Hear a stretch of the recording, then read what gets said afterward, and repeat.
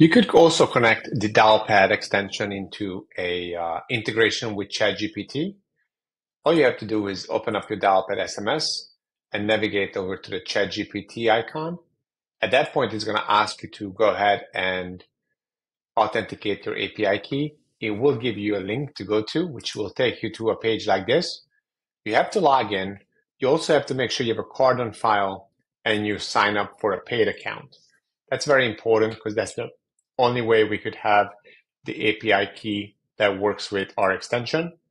Once you do that, then you are able to ask ChatGPT to write the messages for you. Let's say, please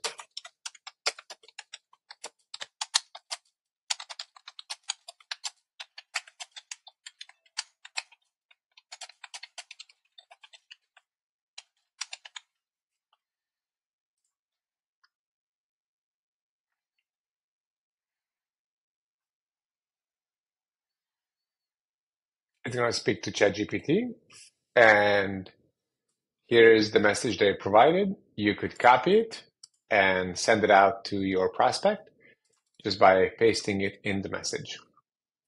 You could make uh, some edits to it.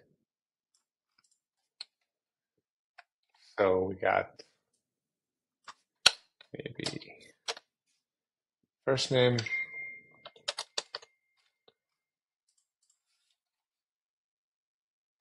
and then some last name.